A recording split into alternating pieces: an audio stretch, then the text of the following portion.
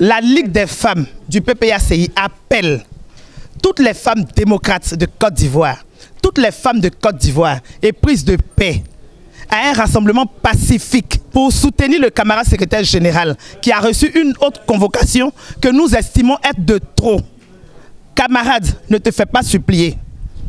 Là où tu es, si tu entends notre cri, lève-toi pour que demain, nous puissions ramener le secrétaire général chez lui afin d'aller au meeting du samedi 25 à Figayo. Restons debout dans la sérénité, dans la discipline, dans la solidarité. Je vous remercie.